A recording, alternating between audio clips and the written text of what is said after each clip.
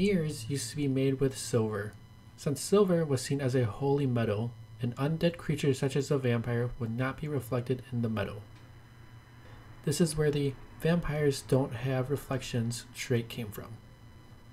The first cameras use a cocktail of chemicals to create the image, and those chemicals would often include some amount of silver. The Wikipedia page on the history of photography is an interesting read if you're looking to learn more about this subject. Modern day mirrors have aluminum behind the glass, not silver. Aluminum doesn't have a history of being associated with the pure metal, so a vampire's reflection would show up with no problems. And since most modern cameras are digital, they would also show up in the photos and videos.